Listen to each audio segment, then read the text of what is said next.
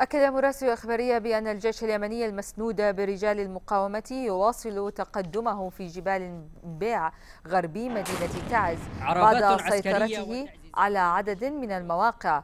قتل فيها القيادي الميداني الحوثي سعيد الصوفي. وفي محيط معسكر خالد بن الوليد تجددت المعارك بين قوات الجيش الوطني والمقاومة وميليشيا الحوثي والمخلوع الانقلابية. في حين دكت مدفعية الجيش الوطني مواقع الميليشيا الانقلابية غربي المعسكر.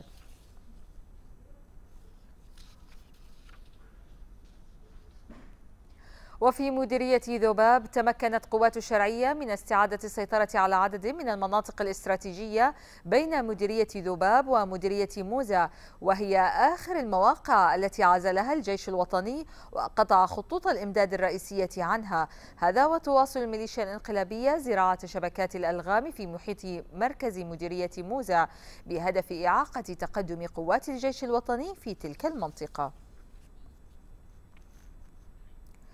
يأتي ذلك فيما أعلنت السلطات المحلية في مأرب عن استكمال تطهير منطقة زور بمديرية صرواح من مخلفات الحرب بعد تحريرها من سيطرة ميليشيا الحوثي وصالح الانقلابية.